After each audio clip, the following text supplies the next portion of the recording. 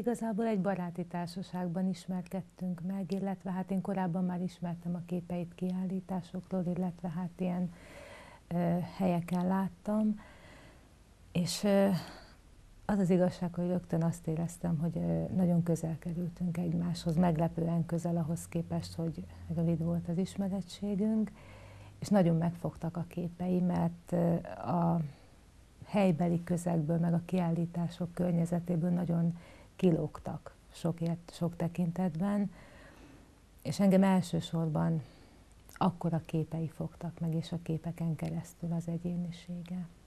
Egyik kollégám ide járt Csillához a fodrászműhelybe, és szólt nekem egy nap, hogy menjek át, és nézzem már meg, három képet fogok látni a kedvenc fodrászától, ugyanis a hölgyek ide imádtak járni, mert ez egy pszichológiai szanatórium volt számukra. És egyik alkalma át is jöttem, és meglepett az az erő, az a dinamika, és olyan momentumok, amik később is Csilla festészetében hál' Istennek benne maradtak, és kérte, hogy ha van időm, akkor foglalkoznék-e vele. Rögtön hozzáteszem, hogy festészetet megtanítani, vagy festőt nevelni úgy nem lehet direkt módon, hanem a tanítás a technológiai és tulajdonképpen szemléleti kérdésekre korlátozódik. Aztán a tanárnak egy idő után elmúlik az a tevékenysége, hogy tanítson, hiszen a festő rááll egy útra, egy sajátos útra, és minden jó festő és ez, ez nagyon fontos kérdés. Úgy hiszem, hogy a saját ösvényét járja.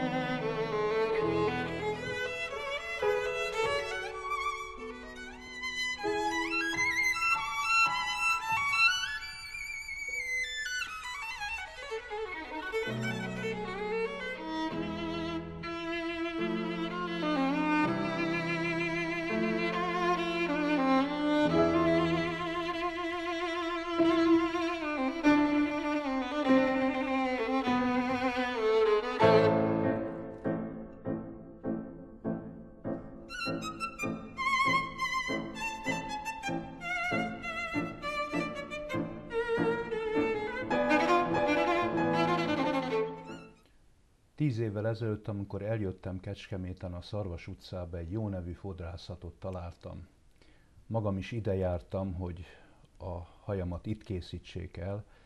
Aztán évek múlva mi történik? A fodrászműhely bezár, és helyette egy galéria nyílik meg.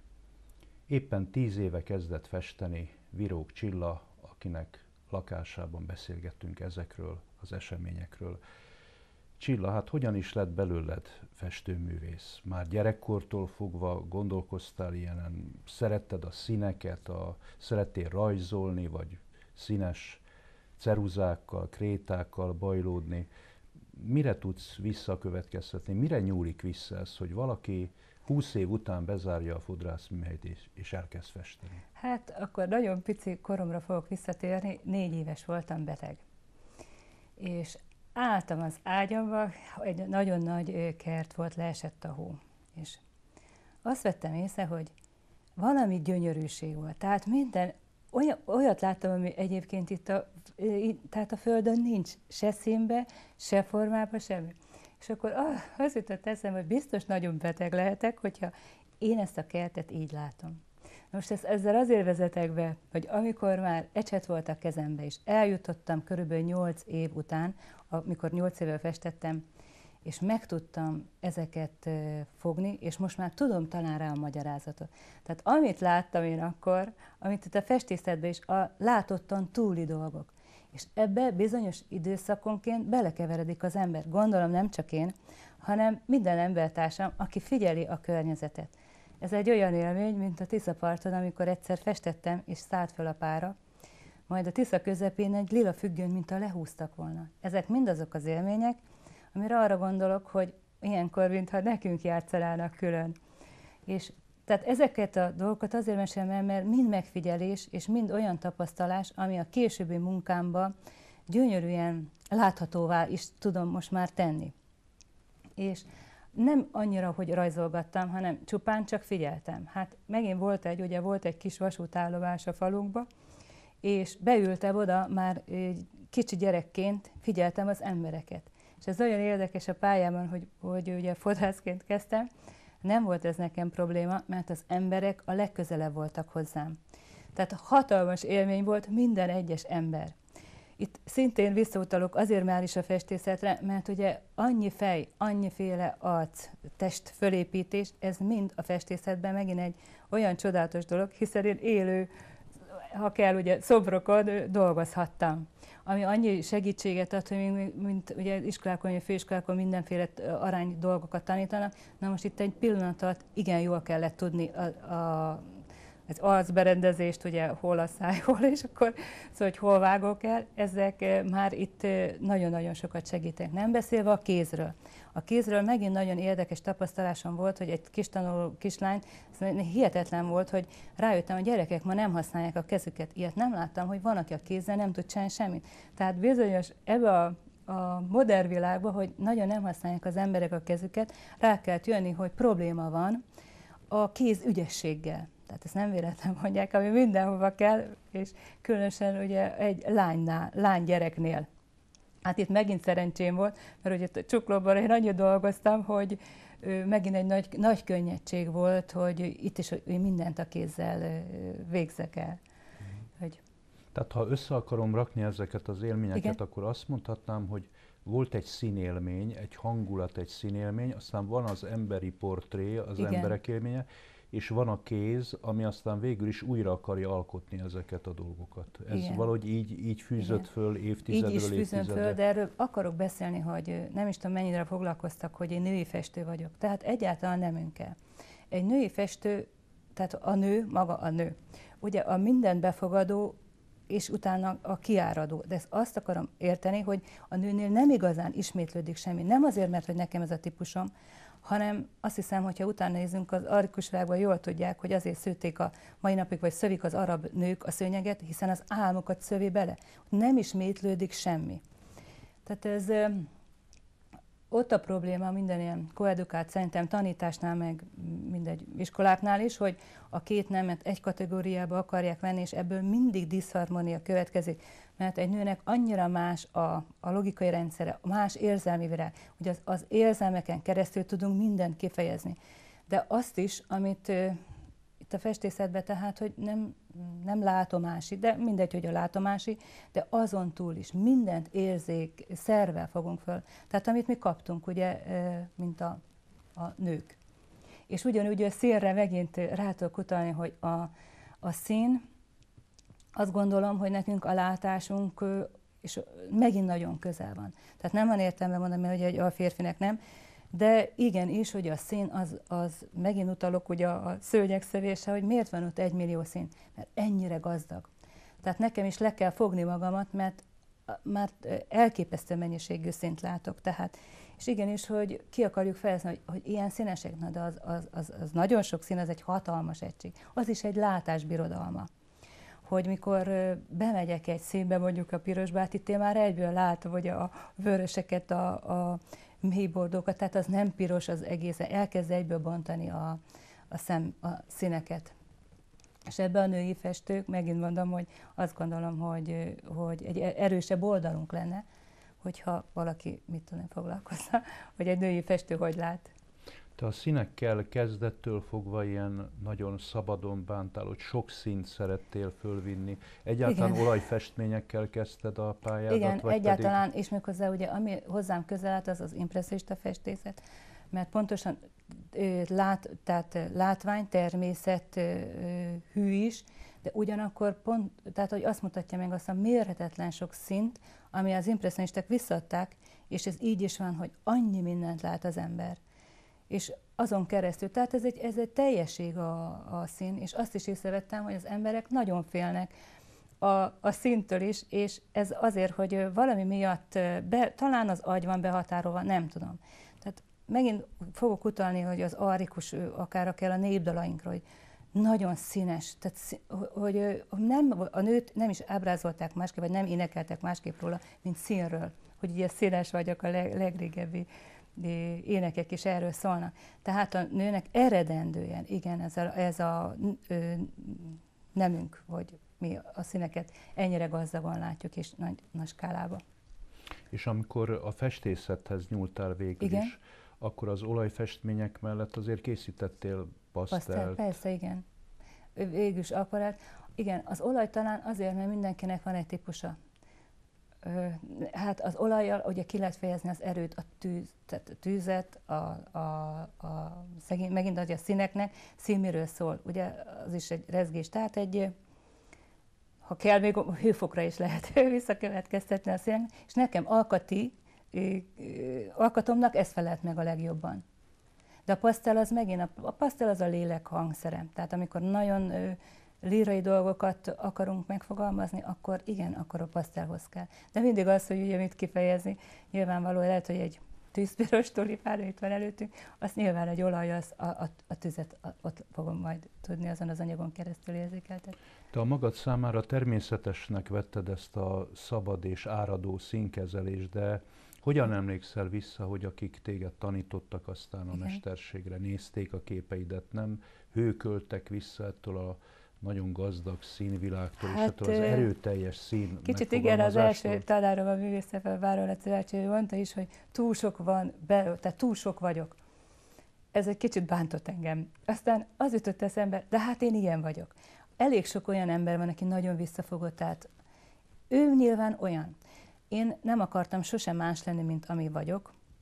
Ez, tehát ezért, hogy ugye annyira változékony a munka, meg a munkásságom, és ez abból adik, mert olyan vagyok. Szoktam mondani, minden nap is más vagyok. Na most, hogyha minden nap más vagyok, akkor én mindig azt fogom prezentálni, ami, ami akkor éppen vagyok, vagy amilyen gondolatom van.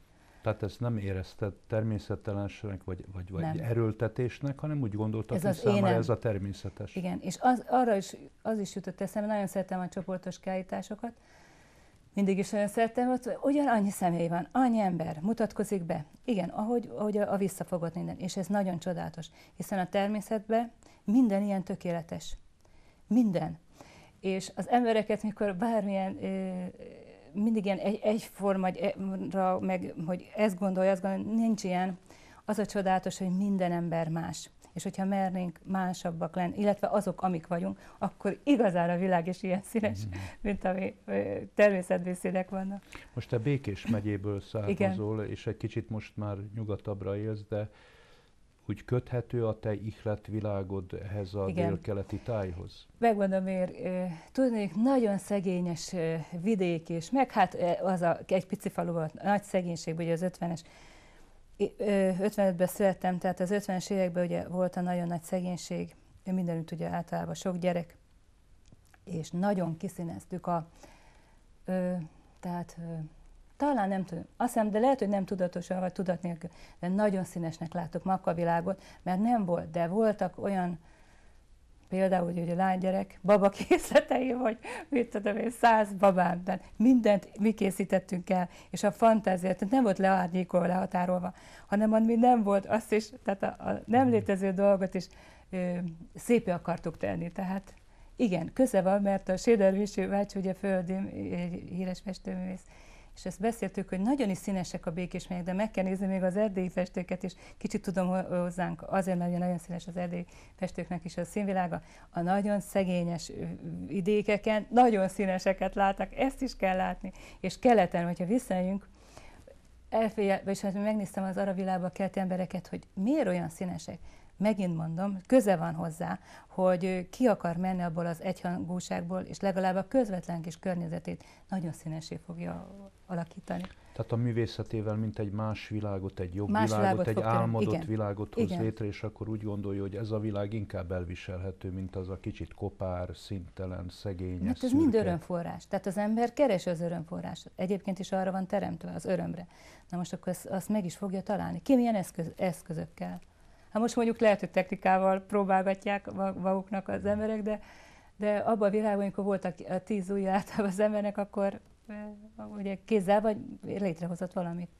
Fel tudod idézni az első pillanatot, amikor te festeni kezdtél? Mert hát a gyerekkori kísérletek, meg későbbiek jószerűvel azt hiszem jelentéktelenek Persze, a férjem vett vásznat esetet, mondta, hogy engem le kell terhelni, mert nem vagyok itt azért a munkában annyira leterhelve, mert ez igazsághoz tartozik. És akkor Hát itt takarítás közben a Júdás pénzét nézegettem egy vázába, és mondom, hogy ja, de jó szerkezete van ennek a Júdás pénzének, mert ugye karácsonyra ezt kaptam vásznatecsetet, és akkor feltettem, és megcsináltam egy képet. És hát jött a férje haza, és akkor mondta, hogy biztos vásároltam, és akkor mondta, hogy nem, nem vásároltam, amikor már sokadiknál, már akkor csak elhitte, hogy én csinálom. És akkor Bászki bácsi megnézte a, a munkát, hogy ugye mit is csinálgatok én itthon, és akkor mondta, hogy a művésztelepre a Báron Laci bácsinál kezdtem, e, és majd utána a szapnos tanár úrnak voltam a tanítványa. Tehát azon mód azért ahhoz is hozzáfogtál, hogy, hogy a meglevő tehetségedet igen, egy kicsit iskoláztad. Igen, én mindig vallom, hogy mindent csinálni kell. Tehát gyakorlat nem fog csak úgy a, a potyogni, de egyébként a másik minden, tehát ahogy te mondod ugye, hogy a könnyű szíve oda kell. Tehát nem tudom én se, hogy mi lesz belőle, de nincsen előre elképzelésem sem, nem is kell, hogy legyen, hanem majd ahogy önmagát fordul, hát a fejlődés is erről van szó, hogy elindulunk, és akkor önmagát fejl, fejleszti, tehát a tudás is, meg a, meg a dolgok, szintén mondom a látás is. Ugye, hogy beszéltük, hogy utána annyira elkezd a szem, ha kell absztrahálni, a formákat látni. Utána már nem csak a szín lesz, hanem bejön a második, amikor bejönnek a formák. Na most a formába is a mérhetetlen változatosság. Tehát abban a pillanatban a szem ugyanúgy van, úgy fejlődik, hogy az egyik formából már a következőt látja. És utána a folyamat az, hogy amikor már, már a forma se nagyon kell, hanem jön valami, a nem látható dolgokból jön egy újabb képi forma. Vissza tudsz emlékezni arra, hogy mik voltak az első témák? Csendélet, táj, emlékek? Mi, mi hozta fel az első témáidat? Az első, hát persze csendélet. Csendélet azért is, mert a virág. Hát a virág annyira gazdag, és olyan gyönyörű, könnyed, igen, mondjuk talán igen, csendélet. Hát a második ugye a táj. A tájban megint minden fantasztikus dolog van.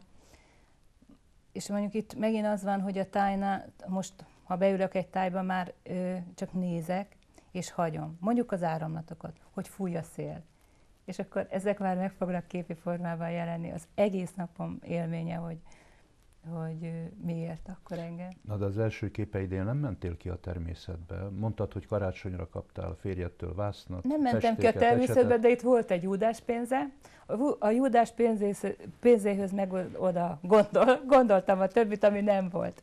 De egyébként a természetnél nincs nagyobb tanítómester, és nem is szabad, soha nem szabad elkerülni, mert a látást egyféleképpen lehet élesíteni a természet megfigyelésével. Ezek mind-mind figyelések. Az egy dolog, hogy utána, amikor már az ember a technikai dolgokon túl lesz, és abból a formákból teljesen őrá jellemző formavilágot fog kialakítani, az nagyon fontos. Az nem lehet elkerülni. Pontosan, a, az, hogy a dolgok természetesek és egyszerűek is legyenek. Tehát a természetességnél nagyon nagy hangsúly van, mert uh-huh az én nagy kedvenc festém is, amire nagyon tetszettek, hogy az természetes, nem jövök zavarba, nem mesterkélt, ott mindig minden a helyén van, és, és mondom, hogy természetesen. Kik a kedvenc festőit, ha már említetted? Hát igen, hogyha visszamegyünk, akkor jó, akkor nem megyek annyira vissza. Leonardo az egyik nagy kedvencem. A mélységek. Rembrandt, Turner, Renoir, Monet, de végül is... Magyarok közül? Csontvári? Hát igen, ami hozzám közel áll, igen, a Csontvári. Csontvári azért áll közel, most már tudom, mert minden ösztönös alkotónál nincs fölé alárendelés. Az ösztönös alkotó mindig mindent egy, egy magasságba, talán tudom kifejezni, egy magasságba fog emelni. Mert ez olyan ősi, már most már tudom, hogy ugye egy teremtőnk van, és számomra azért nem nagyon létezik, nem, nem is tudnék embertársaimra azért sem haragudni, mert tudom, hogy abból eredendően az egy, egyből vagyunk, és ezt érzem a színeknél is, nincs alá fölé rendelés, minden egy. Minden ösztönös alkotok kicsit talán innen azt hiszem, hogy rájuk lehet ismerni. Tehát mindig egyre emelés. Tehát a, a, a, a körül, az az, az, az egy, egy, egy, hogy akarom mondani, nem erősség, minek nevezzem. Egyenrangú, talán azt hiszem ez a szó. Tehát úgy látod, hogy mondjuk Leonardo-tól Renoirig, vagy Rembrandtól Csontvárig, ők valami szóval egységes látásmóddal rendelkeztek, a világot egységesnek látták, és elsősorban befogadni kívánták, hogy például I. és Gyula mondja, hogy az a baj a mi kultúránkban, hogy az emberek előbb írnak, mint olvasnak, pedig jól kellene megtanulni olvasni, tehát befogadni, és amit mint egységeset befogadtak, azt próbálták, de mint egységet is visszaadni. Igen, de ez megint azt gondolom, hogy biztos különböző típusú emberek. Tehát nekem ez a, tehát én ez a csoporthoz tartozom. Tehát hogyha ugye mindenki ö, ö, val, valamihez tartozik. Én hozzám ezek állnak legközelebb. Én nagyon szeretem egyébként a spontanitást mindenbe, a játékosságot, mert a spontanitás a játékosság. Itt értem, hogy tehát nem, nem, a, nem az emberi okoskodás, hanem a szépség az egésznek, amikor megadok valamit, csak úgy, úgy hagyom magamat átereszteni a dolgoknak, és azt nem azt mondom, hogy nem fogom felülbírálni, de először is kijön. Majd utána én is nézegetem őket, azokat a figurákat és mindent, hogy, hogy honnan jöttek ezek. Tehát utána biztos, hogy belép, de először is átengedek. És majd utána rendszerezek. Tehát pontosan meg, megelőzi azt, hogy most én ezt úgy tudom, mit tudom én ez a tulipán most, hogy, hogy ezt fogom. Nem is biztos. Egyelőre, tehát nem, nem így állunk a munkához. De minden ösztönös alkotó. De hát ugye az ösztönös alkotó minden befolyásolva, a napja, a gondolatai. De általában mondom, előre nem készítünk nem tudom milyen tanul, nem tanulmányokat. Bejön ez, amikor én nagyon megfigyeltem, de, de abban a pillanatban ott már csak ugye engedi az ember. Hát, hogy többször elhangzott, hogy ösztönös alkotó, igen. meg magadat is ösztönös igen, alkotónak igen, nevezett. Persze az ösztönök nagyon közvetlen érzeteink, na de a gondolkodás is azért állandóan hát gondolkozunk, és persze. azért Igen. a gondolkodásod A gondolkodások hatott? nem azon, ki fog, nagyon érdekes, hogy bejön a képbe, de nem direkt be. Mindig ott lesz. Nagyon is mély lesz, de nem direkt be. Mert Tehát ha direkt lenne, akkor egy kicsit szájbarágos lenne, akkor egy kicsit nem tanító jellegű lenne. Nem, a művészet lényegéhez nem fér annyira igen. közel. Ez az ikletett állapot, hogyha ugye erről lehet beszélni, akkor ennek pont az a, az a gyönyörűsége, a varázslat, hogy igazán ő se tudja. És mindig nagyon ö, ö, emberközeli, mert ezeket a képeket, ha még elvontak is, az az érdekes, nagyon egyszerű ember is meg fogja érteni, mert ő benne is benne van. Tehát nem olyan képek vannak. Azt is nagyon érdekes volt, hogy rá kellett jönnöm, hogy vannak teljesen archivált kép anyagok. Ez akkor, amikor már ugye nem látható dolgokból dolgoztunk, nem tudjuk, de teljesen hiszem, hogy kódolt kell, figurarendszer is van az, az ember agyába, amit nem tudunk. Nem tudunk, de amikor nagyon, en, nagyon engedjük magunkat, mondom, nem okoskodunk, akkor ezek, ezek létformát nyelnek, és elő, előjönnek. Az elmúlt tíz évre visszatekintve úgy meg tudsz különböztetni szakaszokat a, ezen a rövid pályán, mert igen, végülis egy rövid, rövid pálya. Van olyasmi, hogy a kezdet-kezdetén jobban, jobban ragaszkodtál egy tájhoz, vagy egy, egy olyan látásmódhoz azért, ami mégis látvány szerinti látásmód volt, nem látomás szerinti. Igen, Most tisza, pedig mész persze. az elvontabb dolgok felé. Tíz év alatt sok minden történt. Igen. És... Hát például a Tisza, a víz. Az egy fantasztikus, ugye nem csak, tehát nem véletlen, hogy a nővel is azonosítják a vizet, a folytonos ő, változó, a, a, a, ha kell ugye pusztító is, de tisztító is, és amikor a, nagyon érdekes, a vízurát elkészítettem, ugye a két fej, egy haltestből kívül két fej, Na, ugye, itt vissza fogok utalni, hogy mondtam, hogy vannak teljesen, ezt pár ezer évvel ezelőtt leírta egy indonéz nézcsoport ugyanígy erről egy haltest. Nem tudunk róla, tehát azért mondom, hogy vannak teljesen találkozási pontok, amik közös az emberi agyba, gondolkodásban vannak teljesen közös pontok.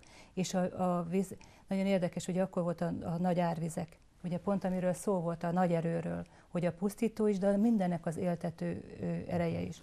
De ugye milyen szépen írnak a vízről, hogy puhán, szépen, csendben, de ugye a medrét, ahogy ki, kiássa a víz. Tehát szimbolikusan is a víz az egy, ez egy kedvenc területem.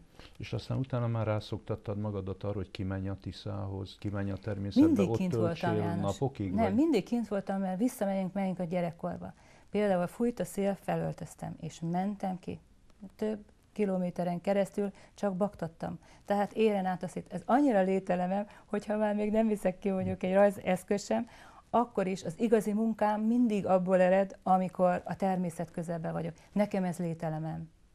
Hogy a nap érjen, hogy a szél. Tehát ezek át is jönnek, olyan érdekesen jönnek át, hogy mondjuk lehet, hogy egy ilyen hullámba, de valami mégis érződik a képen, és az érződik, hogy a természet átjárt bennünket, hiszen mi is abból vagyunk.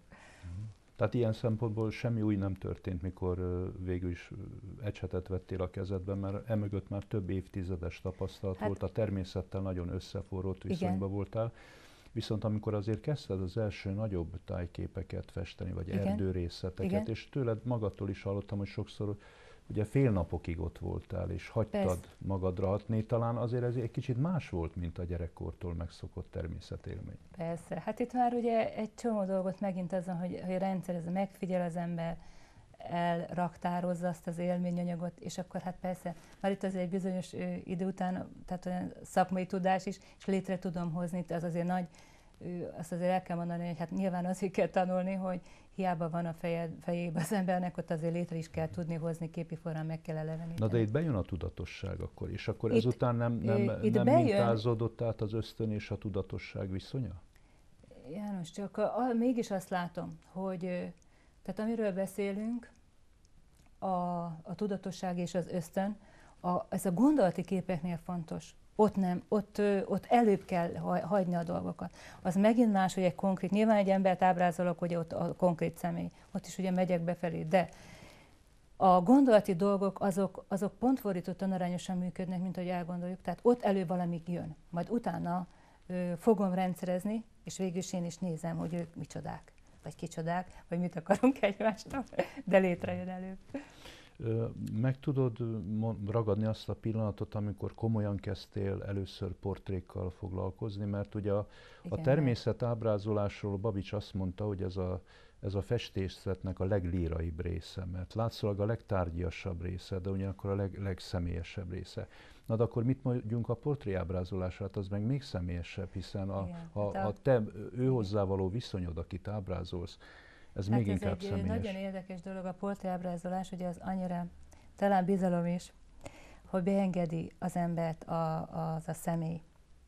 Egy, az első portrém igazán a, egyik kis ismerősöm volt, aki egy házassága előtt, esküvő előtt megportréztem, és úgy minden benne volt. A, volt egy,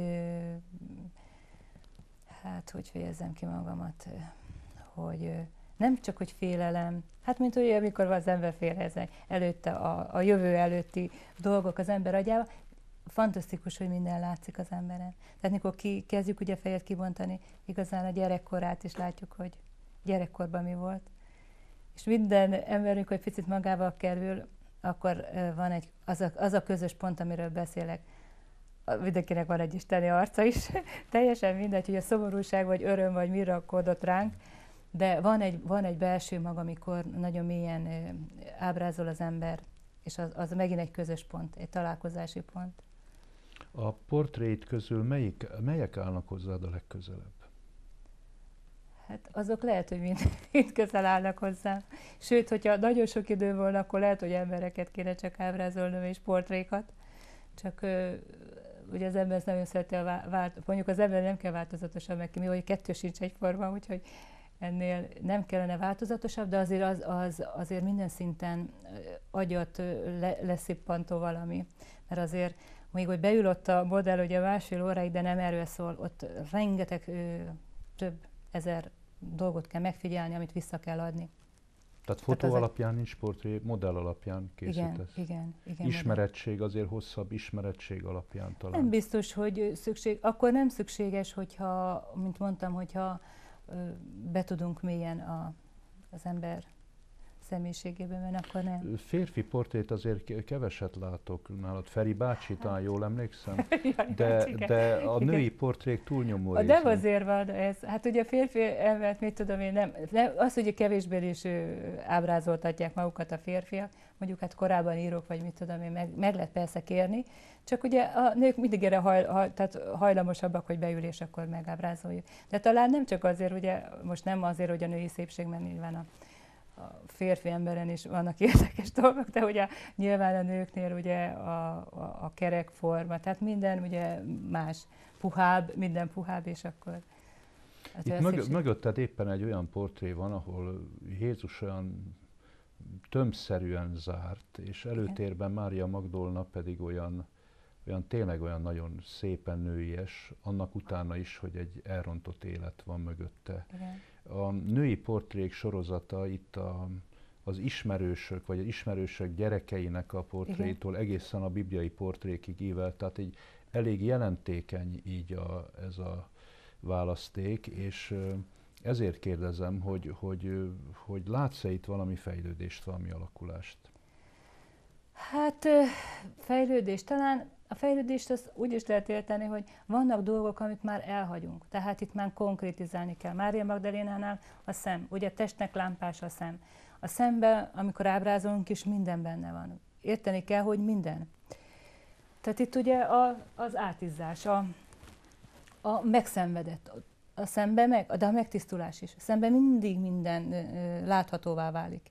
Aztán ugye egy, egy, amit nem lehet eltakarni, nem lehet palástolni, a szomorúak vagyunk, ugye a legnagyobb, legárulkodóbb a szemünk. És egy csomó dolgot elhagytam, elérendeltem, kifejezetten erről akartam beszélni. Sőt, van egy olyan érzésem, hogy lehet, hogy máshol se nagyon, a, nekem a, a szem az nagyon sokat jelent az embereknél. Sokszor az az érzésem, hogy lehet, hogy csak szemeket kellene ábrázolnom. Mert nagyon a többi érzek. esetleges ahhoz képest, nem, hogy nem arról kifejező szó, a szem, a többi... Ugye a lélektükre is, ebben tényleg benne van minden. Hmm. És tehát egy festőnek ez egy nagyon nagy, nem kaland, hanem, vagy mikor mélybe megyünk ugye a mélységekbe. Az utóbbi időben megszaporodtak azért a, a látomásosabb képeid, az elvontabb Igen. jellegű. Igen képek azért itt nem érzem annyira az ösztönösség javára való elbillenést. Itt a gondolatiság, az eszmeiség, a, valamit szeretnék kifejezni. János, ezeknél azért önmagukat hozzák létre, mondom, jönnek, és tovább is önmagát hozza létre. Tehát egy-egy formarendszer diktálja a másikat. Tehát itt egy, ez egy, már egy egészen más kategória de azért az elmúlt tíz évben legalább egy négy-öt szakasz, úgy két évenként mindig váltottál, és változ, változtak a beállítások. A színek csodálatos gazdagsága, szinte túlcsorduló bőség az nem annyira, de van valami állandó elem is, nyilván, mint minden művésznél van egy állandó húzal, de van újabb felrakódások. Te hogyan látod az elmúlt tíz évet? Most ha azt kellene mondani, hogy egy gyors fényképet készíts magadról az elmúlt tíz év távlatában, ezt hogy összegeznéd? Persze, tehát először is ugye, tehát a, a, megint mondom, hogy a, tehát úgy fejlődik az ember látása, megint vissza fogok utalni rá, hogy ugye akkor van egy konkrét dolog, amikor még nem keveredik be az ember a mélybe, de nagyon gyorsan lát, tehát lehet látni a mélységeket. Utána majd ezt is kezdi az ember elhagyni, utána jönnek, a, kell, el kell kezdeni az ember formával fog foglalkozni. Utána nagyon érdekes a formák, mint mondtam, már hátra megy az alkotó, és kijön egy olyan dolog, ami, ami nem, a nem látható világból való, amit már csak érzékekkel tudunk kifejezni. Tehát ott, ott talán pont ezeknél a dolgoknál lehet a legjobban a női érzékenységet a nem látható dolgokba kifejezni. Hát nálam legalábbis. De, de vannak kicsit, visszacsatolások is. Igen, de most egy kicsit kitértél a kérdésem elő, mert azt Kitértem, mondom, lehet, hogy, hogy, hogy légy szíves, légy igen? szíves összegez, hogyha most nem másoknak, magadnak kellene összege, így is feltetném igen? a kérdést, mit segített neked az, hogy az elmúlt tíz évben festeni kezdtél? Hát mindenképpen a, a látásomat ö, és a, a világ megismerését jelenti. Tehát olyan, elég nehéz azt ugye, hogy valakinek beállítanánk bárkit, hogy egy üres kép, hogy valami. Na most ez nem is megy, ez egy folyamat. Tehát azt el nem kell gondolni, hogy eljut az ember oda, hogy, hogy az első ecsetvonásnál nem. Ez egy út. Tehát ez egy olyan út, amikor az ember ö, csak járja a neki kijelölt utat. Tehát úgy gondolod, hogy azért, ami gyerekkorodtól fogva megvolt, amikor Igen. felöltöztél, amikor Igen. ott a békési kopár buckás igen. földekre kimentél. A kukoricásba A kukoricás, igen, de, de akkor is érezted igen. valahogy, hogy, hogy egy csodálatosan, hogyan is mondta Rilke, aki szintén a festőkhöz elment, és azt mondja, hogy egy, körülöttünk egy csodálatosan gazdag természet él és virul, és sokszor mi nem veszünk benne részt. Igen. Mi kiszakadtunk ebből a mi egysíkú kopár sokszor haszonelvű, pénzhajhászó világunkkal. Hát én ezt el szoktam mondani, hogy például a természet, ahogy a Jóisten a legnagyobb kolorista, hát csak meg kell nézni egy, egy bogár potruháját. A világ csodája színbe oda van rakva, de formarendszerbe is. Hát ha, ha abstrakcióról lehet beszélni, hát akkor menjünk csak a természetbe. Hát valami olyan formákat látsz, hogy a meghazudtolja a legmodernebb absztrakt képet is. De a színre visszatérek, hát ugye amikor megnézi az ember egy halna, ugye egy narancsba ugye belehúzva egy ibolya. Tehát valami gyönyörűség, de formarendszerbe is, meg színbe is, hát a természetnél nem kell ö, csodálatosabb példa. Tehát akkor úgy összegeznénk mondjuk, hogy megtanított téged a természetnek, a körülöttünk való világnak még mélyebb szeretetére, a benne való még, még mélyebb tiszteletére. Igen minden csoda a lábunk elé lett rakva. Ezt annyira látja az ember. De az ugye egy napszakot megábrázoltam, Rápszigetén egy napszakot, a reggelt, a délbe, amikor áll minden, a csend. Hogy a csendet, lehetett is volna képnek az a címe.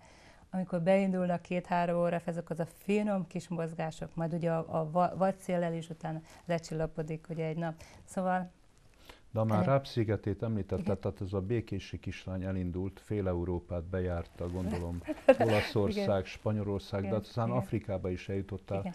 Egyáltalán mit kaptál ezektől a tájaktól? Addig is sejtetted, hogy mi van ezekben, vagy azért elementáris erővel hatott rád az a konkrét tapasztalat, hogy te Kenyában ugye ott voltál? Hát nagyon, nagyon sokat jelentettek nekem ez az utak.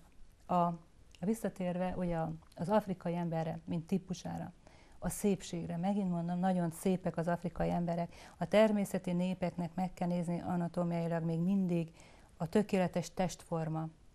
A természetből nem, nem mentek ki.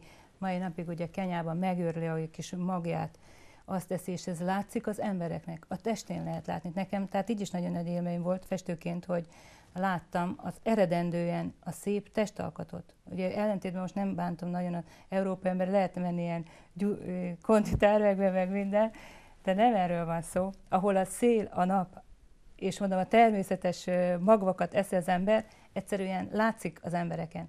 Ha belegondolunk az arab világban, például az a nagyon tiszta szem pedig, hát ha azt veszük, ők hozzánk képest szinte nem is táplálkoznak semmivel se, mi idézőjebb, hogy annyira jól akarunk táplálkozni, hát meg kell nézni, ugye az magáért beszél az az emberek, de nagyon sokat ad. Hát a Kenyában például ugye a fekete-fehér, valami döbbenet volt, van is, ugye többféle, de sok munkát készítettem, a fények, hát valami döbbenet, az ellentét, a fekete, a fehér. De annyira ö, rob, robbanó ereje van szinte a fényeknek. Hogy, de hát mondhatom, minden egyes országban csak rá jellemző atmoszféra van, sehol nem érzékelhető. De nem például, amikor itt kint voltunk az Árvalányai tengeren, az a világon sincs, az csak itt van az az atmoszféra, amit ott átél az ember. Amit mondtam, hogy ugye átvette szint azt a hullámzást, már a felhők is, hát nagy gyöngyök lettek belőle, szóval ez valami csoda. Tehát akkor ne is kérdezzem, hogy mire készülsz, mik Igen? a terveid, mert ami jön, abból mindig azt használod föl, és azt hagyod hatni magadra, ami úgyis tovább visz. Igen. Lehet igen. ezt mondanom? Lehet, igen. Hát köszönöm szépen, így szeretném. Igen.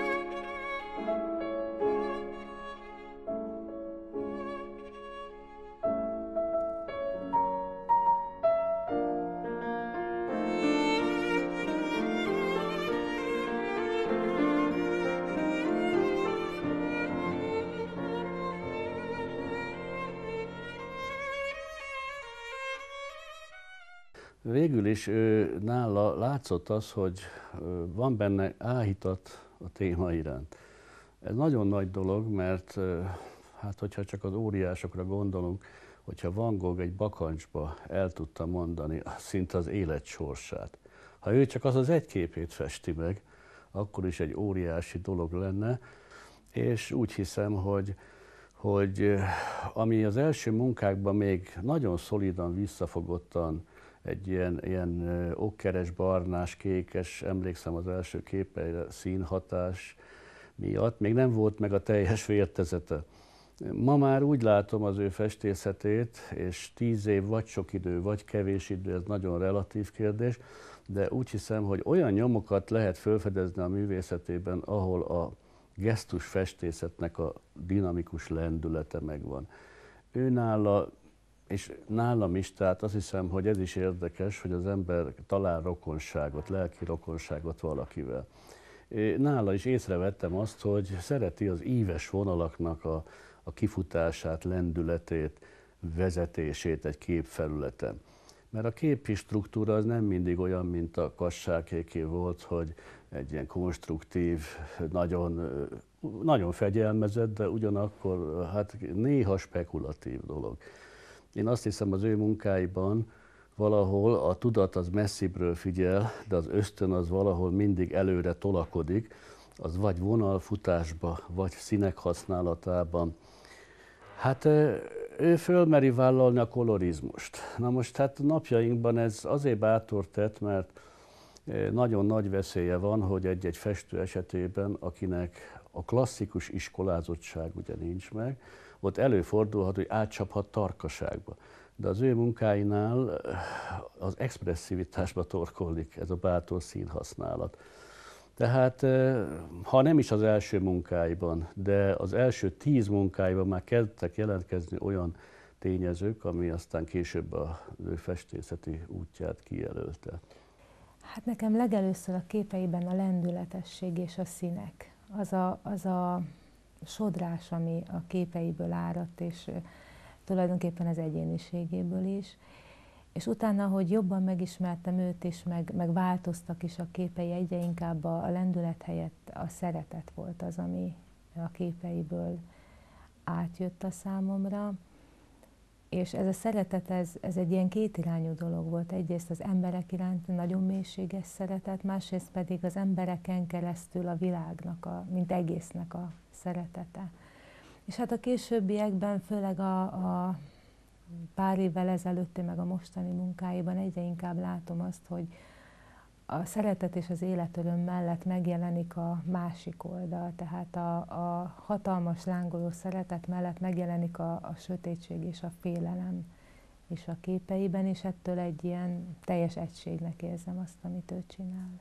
De az, amit a folyóval, a földdel, a teremtéssel, a születéssel, a, az anyasággal kapcsolatban ezek már a gondolati síkon mozgó képei, ezek is köz, közül nagyon sok tetszik. Aztán a Milánói Dómnak az a, az a kis líraiasága, ami bár egyenes vonalelemekből áll, mégis ennek a szövése az érdekes, és az a színvilág, ami, ami minden esetre képes azt a levegőt hát visszaidézni, ami tulajdonképpen egy élmény hatására született.